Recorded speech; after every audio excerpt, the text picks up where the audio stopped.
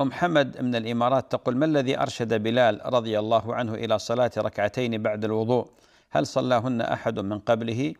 أختي أم حمد بارك الله فيك هو صح عن النبي عليه الصلاة والسلام أنه قال لبلال يا بلال أخبرني بأرجى عمل كنت تعمله فإني سمعت دفا عليك بين يدي في الجنة وفي رواية خشخشة عليك بين يدي في الجنة فقال يا رسول الله ما توضأت وضوءا إلا وعقبت بركعتين وبلال بن رباح رضي الله عنه وأرضاه آه، إنما كان يصلي هاتين الركعتين لأن النبي عليه الصلاة والسلام آه، سنهما فهو لم آه، يأتي بهما من عند رأسه من عند نفسه لا وإنما حديث حمران مولى عثمان رضي الله عنه لما جاء وجلس يتوضأ فقال قال رسول الله صلى الله عليه وسلم من توضأ نحو وضوء هذا ثم صلى ركعتين لا يحدث فيهما نفسه إلا غفر الله له ما تقدم من ذنبه.